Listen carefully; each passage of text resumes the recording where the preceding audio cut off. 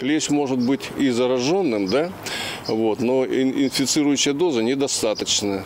Второй элемент. Организм должен быть чувствительный. Может быть, человек когда-то переболел в легкой форме э, клещевым энцефалитом, ну, по типу гриппа. И он практически не заболеет, даже если его и укусит зараженный клещ.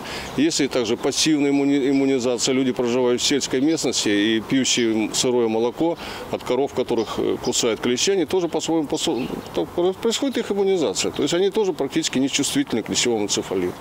То есть организм должен быть восприимчивым, инфекционная доза должна быть достаточная.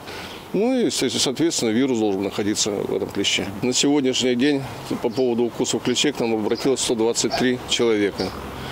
Вот. Ну и появились у нас первые положительные находки. Они свидетельствуют о том, что клещи были инфицированы вирусом клещевого энцефалита. Вот. Таких случаев у нас, значит, три.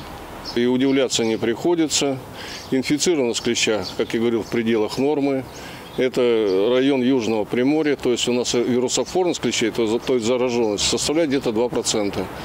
2%. Ну, вот так вот и считаю, что 123 клеща, из них 3 инфицированы, это в пределах нормы.